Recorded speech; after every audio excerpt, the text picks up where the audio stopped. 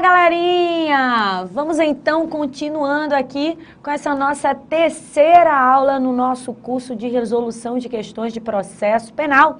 Você já sabe que essa professora aqui que vos fala é a professora Estefânia Rocha. Se você clicou aleatoriamente nessa nossa terceira aula, eu vou te pedir que você volte para a primeira aula e comece assistindo a primeira, porque nós temos ali ó, uma série de informações importantes que você perdeu. Então volta lá para a primeira, assiste a primeira, a segunda e ó, vem para a terceira. E você que já vem seguindo aí com as resoluções de questões, sabe que nós vamos dar andamento aqui a partir da questão de número 6, ok? Corta na tela então, Artuzinho, aqui para a galera acompanhar. Vamos lá. Alfeu responde em juízo de primeiro grau a processo pela prática de crime contra o patrimônio. Considerando nesse caso que o crime está sujeito às disposições do Código de Processo Penal, julgue o item abaixo. A edição de uma lei processual, vamos marcar, vamos marcar, vamos marcar, porque isso é muito importante. A edição de uma lei processual penal nova, então a lei ela é o quê? Nova. Uma lei processual penal nova que provoque mudanças nas regras recursais. Então vamos lá.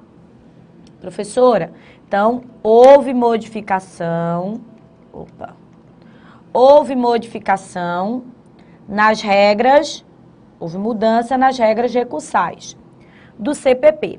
Será aplicada ao procedimento penal a que Alfeu responde? Veja, eu fiz uma pergunta, né? Mas a questão não está fazendo pergunta, não. A questão, ela está fazendo uma afirmação. A sua professora fez uma perguntinha aqui para você. Ora, nós sabemos que não é uma pergunta que se faz aqui, né?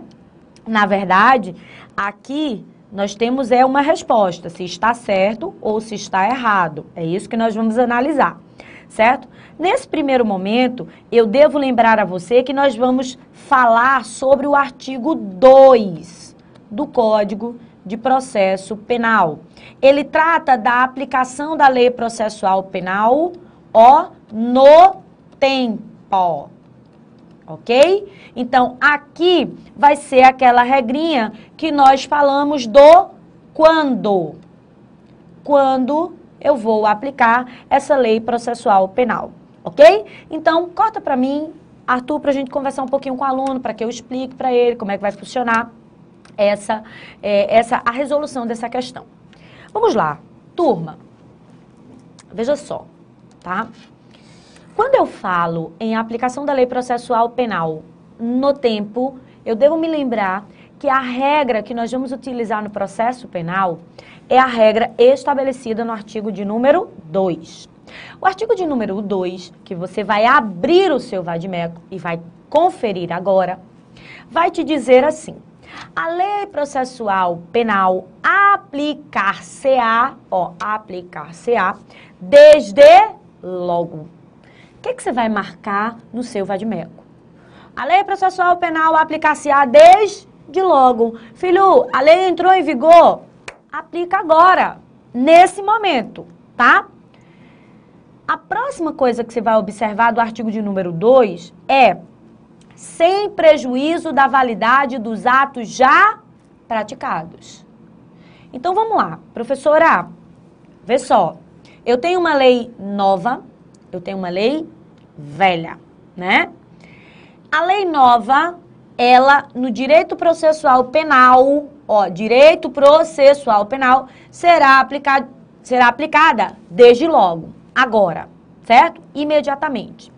Quando eu falo em aplicação desde logo, aplicação imediata, eu me lembro que o artigo 2, aplicação da lei processual penal no tempo, vai me remeter a um princípio chamado princípio da imediatidade ou tempus regit actum. Não entendi nada, não sei falar latim, estou apenas querendo passar no concurso da Polícia Civil. A senhora dá para traduzir o negócio aí, minha senhora? Traduzo, meu amor. Vamos lá. O tempo rege o ato. Então, peraí. A lei é nova no processo penal, eu aplico agora, porque o tempo rege o ato. Tempus regit actum, ok? Aplicação imediata foi o que você marcou no seu artigo de número 2 do Código de Processo Penal. Beleza? Essa é a regra do processo penal. Lá no direito penal, que eu sei que você estudou com seu professor de direito penal, sua professora de direito penal, certo? Você deve ter estudado com o querido Alê, né? O professor Alexandre Zamboni, ou com nossos outros professores de direito penal, a seguinte coisa, a seguinte regra, né? Aplicação da lei penal no tempo. Qual que é a regra? A lei penal não retroage, salvo para beneficiar o réu. Foi isso que você estudou. Pergunta que não quer calar, professora. A lei processual penal vai retroagir? Não. Por que, que a senhora está sendo tão grossa? Não, não estou sendo grossa. Presta atenção. Você não pode associar a regra penal com a regra processual. A regra processual vai dizer que não retroage, beleza? Nós temos uma exceção que seria a aplicação do ato que já está em curso, e eu vou falar dela para você daqui a pouco. Mas a aplicação, turma, é imediata. A lei nova entrou em vigor no processo penal. Eu não vou olhar se ela é mais benéfica, se ela é maléfica, se ela é boa, se ela é ruim, se ela não é, se vai prejudicar, se não vai prejudicar. Não interessa para o processo penal se a lei nova é boa ou ruim. Ela sempre será aplicada imediatamente. Isso é que você decora, mas eu vou ter uma exceção para você daqui a pouco. Primeiro, vamos combinar uma coisa: você decora a regra. Depois, aliás, você aprende a regra, né? Você aprende a regra, depois você decora uma exceção ou as exceções, ok? Combinamos? Então vamos lá. Aplicação imediata, o tempo rege o acto, ou seja, eu aplico aos fatos né, que se deram naquele momento. Beleza? Professora, daqui para frente, e os atos devidamente já praticados? Eu vou preservar, certo? Não vou ter que praticar tudo de novo, não. Vou preservar. Professora, no direito penal é diferente. Só que eu tenho uma pergunta para lhe fazer, professora Estefânia, porque assim, eh, na minha cabeça eu preciso pensar nas coisas. Costa na tela, Arthur, porque essa é a pergunta que o aluno vai me fazer agora. Vê só, filho, você vai fazer a pergunta assim para a tia, né? Você vai pegar, vai colocar de um lado assim, ó. De um lado, assim, de um lado. Porque você, você é uma pessoa que pensa muito. Aí você vai falar assim: de um lado, o Código Penal.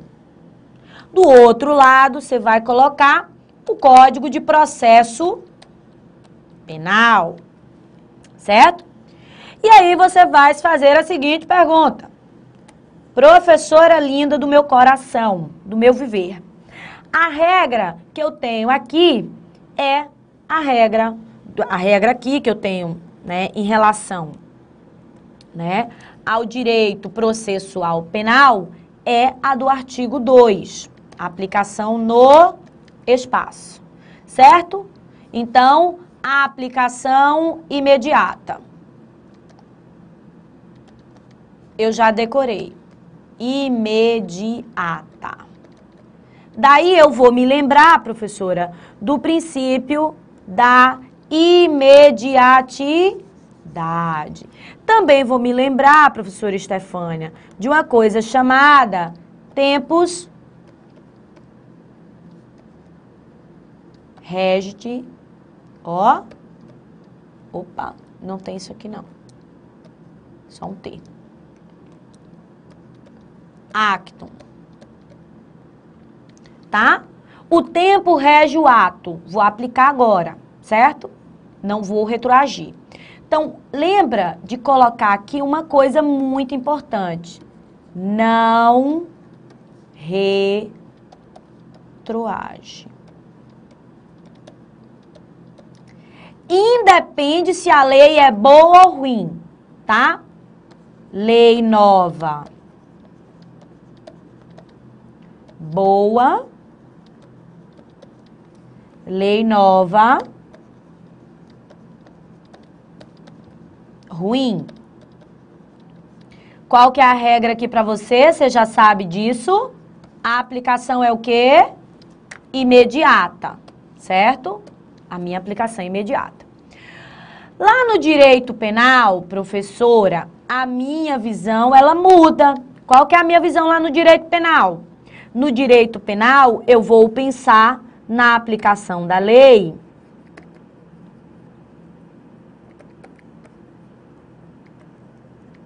da seguinte forma: a regra é não retroação, retroagir. Certo? E aí você vai lembrar do salvo. Salvo para beneficiar. Então, vê só, eu tenho uma lei velha, boa, e eu tenho uma lei nova, ruim. Essa é a visão. Eu vou voltar para a lei velha, porque ela é boa, ok? Essa é a visão do direito penal, que não seria a visão do direito processual. Então vamos lá, professora, entendi tudo. Só que a senhora vai me lembrar uma coisa. E se eu tenho uma lei, lembra que o poder do ICI é só meu, tá? O poder do ICI não é seu. A gente só pensa no ICI quando a professora falar, meu amor. E se uma lei nova, lei nova, ela traz, tá? Matéria penal e matéria processual penal. Você vai me fazer a seguinte pergunta: e agora, José? Qual é a regra que eu vou aplicar? Por quê? Porque a regra processual penal é uma. Aqui, aplicação imediata. Quero nem saber se é boa, quero nem saber se é ruim. A aplicação é imediata, independente de qualquer coisa. Só que a lei penal, ela vai ter regra diferente tá? Se ela for benéfica, ela vai fazer o quê? Retroagir. Então, as regras, elas são muito diferentes.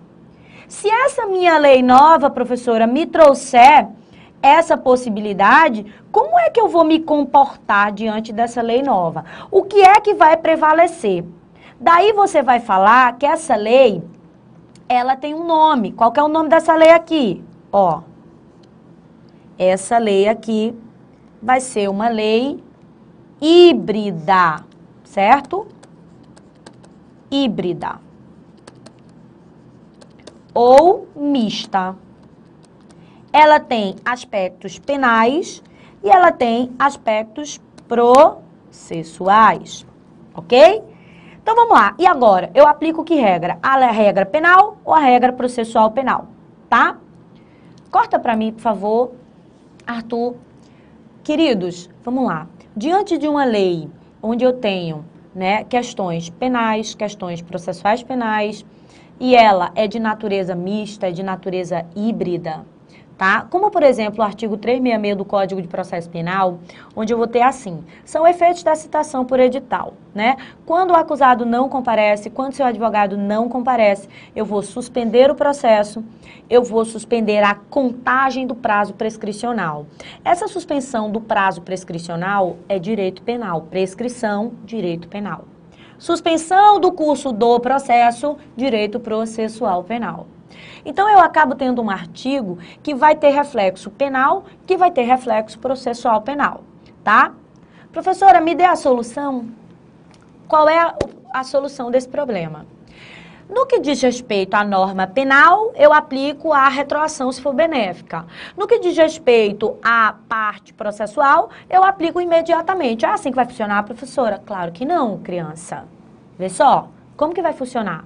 A jurisprudência, ela vai dar uma solução. Qual é a solução que nós vamos utilizar? Em se tratando de norma híbrida, tá? Onde eu tenho norma penal, norma processual no mesmo dispositivo de lei, eu vou olhar essa lei nova, ela beneficia? Beneficia. Professora, então vou aplicar, né? Professora, a lei nova, ela é prejudicial. Lá no direito penal, a velha é melhor. Então, professora, a Constituição diz E o código também vai me dizer que eu vou retroagir para beneficiar. E aí, em se tratando de norma constitucional, norma penal, vai prevalecer que regra?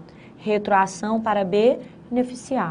Em se tratando de norma mista, eu vou levar em consideração a regra do direito penal. Se a lei velha é benéfica, eu vou retroagir para beneficiar.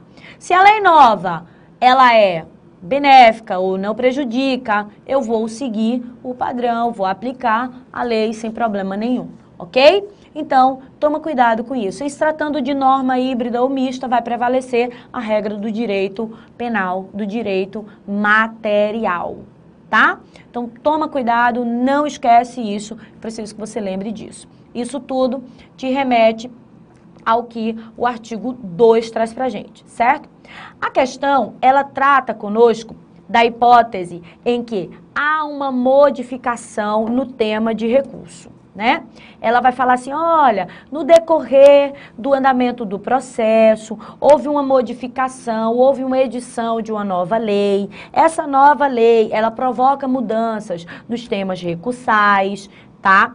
E no que diz respeito a essa nova lei, nós vamos aplicar, tá? Que regra, né? Ao FEU, ela, ele vai né, ter como aplicação o procedimento penal a que a lei né, velha ou a lei nova estava aplicando, certo?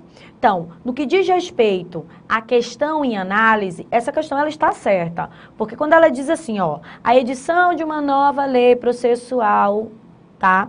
que provoque mudanças nas regras recursais do CPP, certo? Será aplicado o procedimento penal a que a Alfeu responde.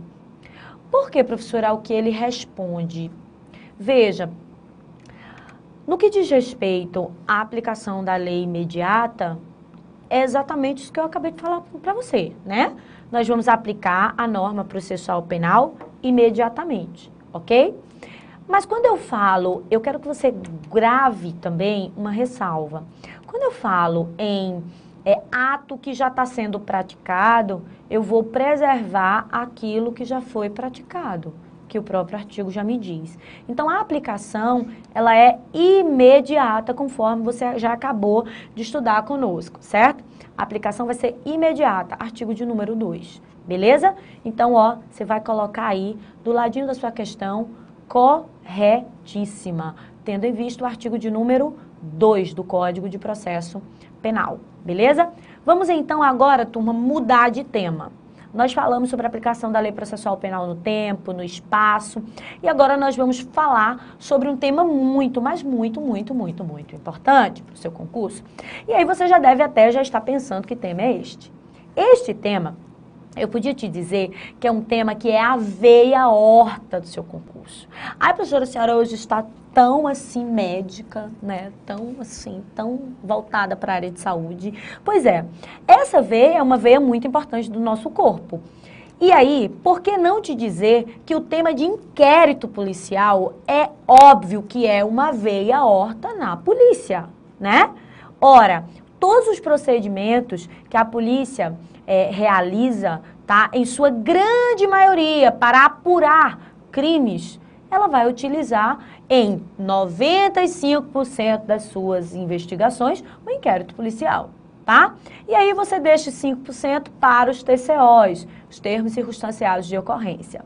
Nós sabemos que inquérito policial e TCO são completamente diferentes. Eles não são a mesma coisa tá? O TCO é um termo circunstanciado de ocorrência que está relacionado às infrações de menor potencial ofensivo, cuja pena não ultrapasse dois anos, às contravenções, às penas de multa, tá? Está estabelecido lá na Lei 9099 de 95.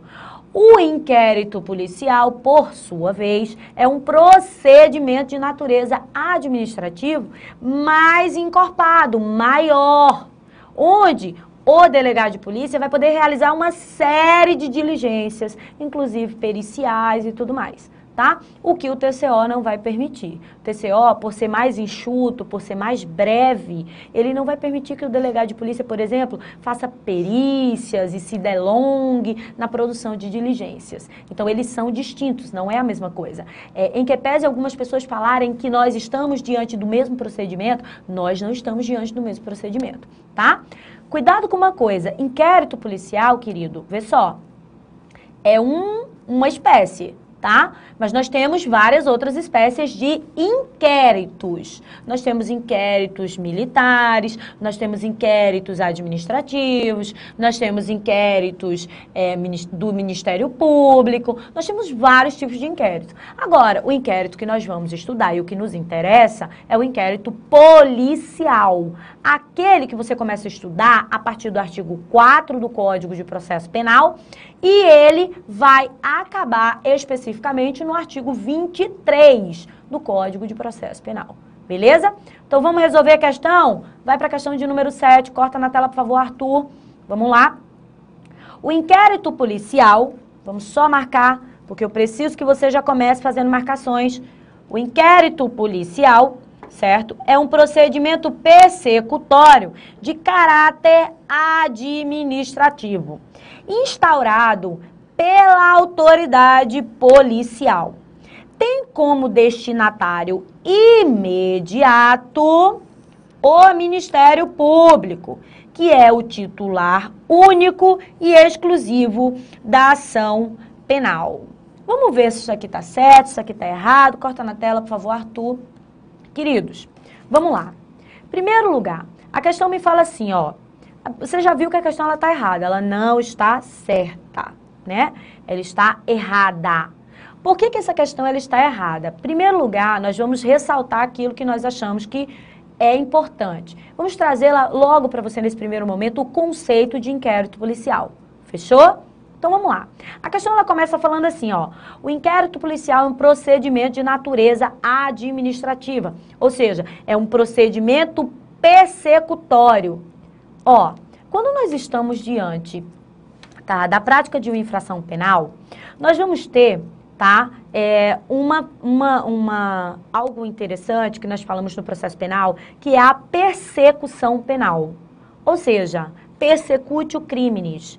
Ou seja, a pessoa já está falando latim de novo, pelo amor de Deus, volta para minha linguagem, que eu só entendo português. Vamos lá.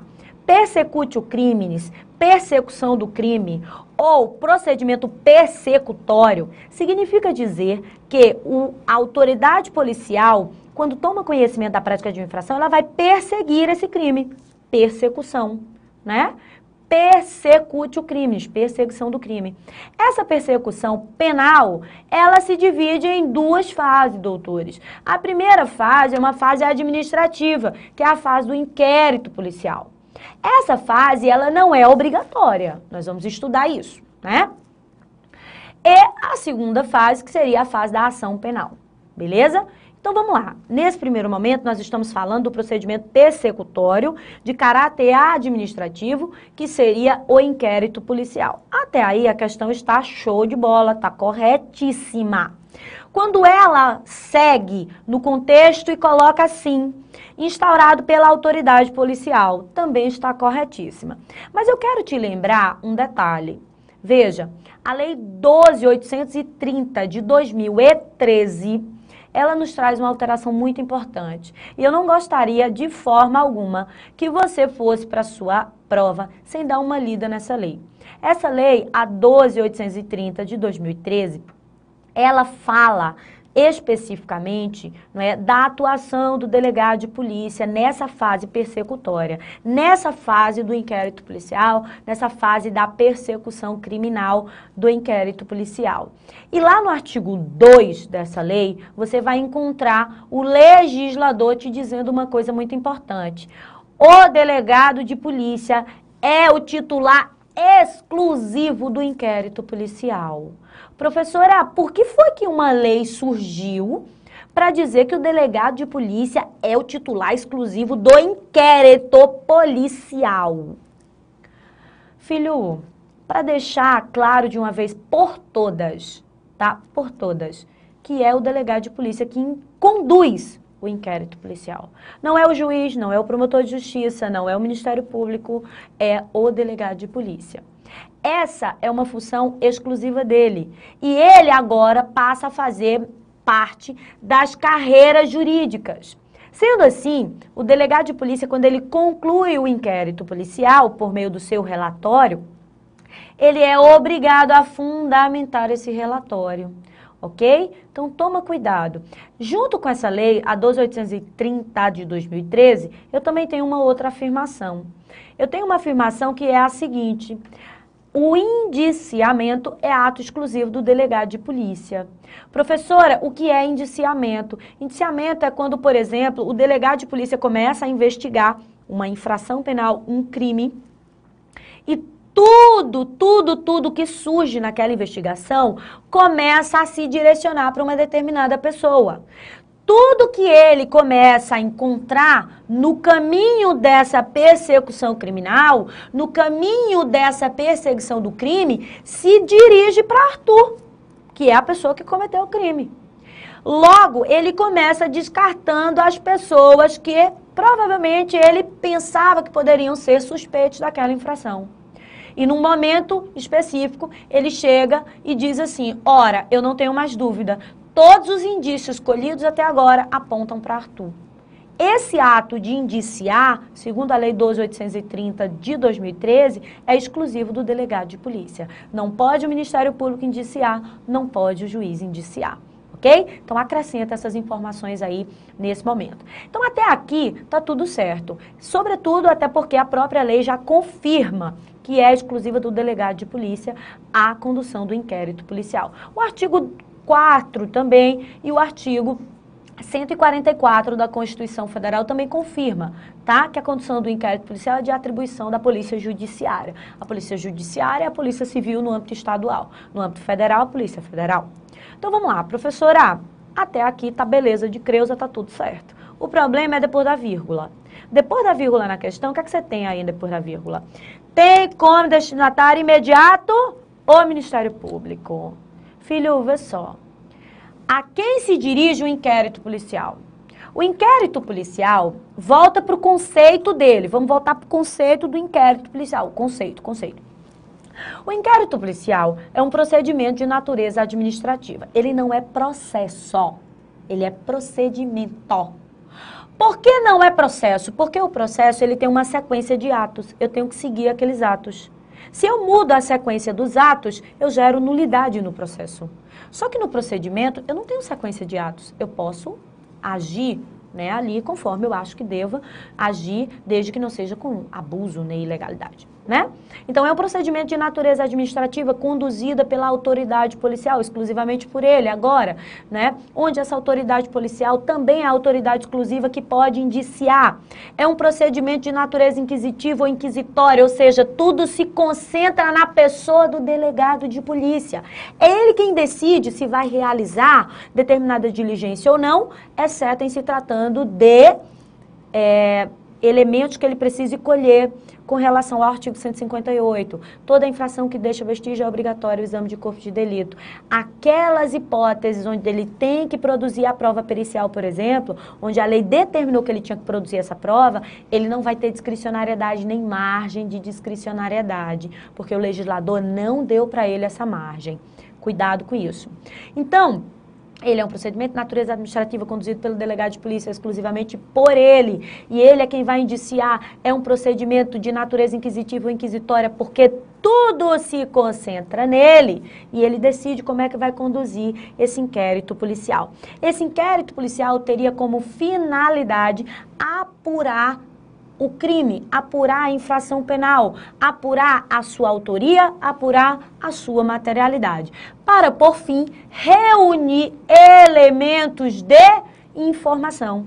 E esses elementos de informação serão remetidos num relatório para o quê? Para o juiz, que consequentemente irá remeter para o titular da ação penal. Esse é o conceito de inquérito policial. Quando eu te dou esse conceito, você acaba entendendo por que a questão não está certa.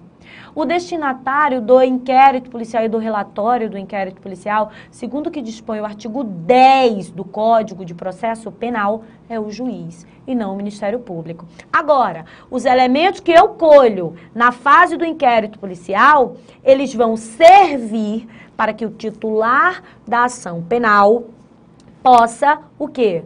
Possa oferecer a sua denúncia. Então, o destinatário imediato do inquérito é o juiz competente para a ação. O destinatário me, ó, me, mediato é o titular da ação penal, que seria o Ministério Público. A questão ainda também está um pouquinho errada, tá, aliás, ela está toda errada, né? A questão ela está mais errada ainda, porque ele fala assim, ó, é o Ministério Público é o titular exclusivo, né, de todas as ações. Vê só, nós temos dois tipos de ação: ação pública e ação privada. Então, o Ministério Público é o titular exclusivo da ação pública. Ele não é o titular exclusivo de todo e qualquer tipo de ação. Porque a ação privada vai ter outro titular que é o ofendido, a vítima, se tratando de pessoa incapaz, o representante legal, se tratando de pessoa morta ou ausente, o cônjuge, companheiro, ascendente, descendente ou irmão, conforme o artigo 31 do Código de Processo Penal. Então a questão ela está errada, tendo em vista todas essas orientações e direcionamentos que nós acabamos de te dar, beleza? Encerramos essa questão aqui com você e vamos então para a nossa próxima questão, ok? Só que na nossa próxima aula, clica aí, ó, eu vou estar te esperando.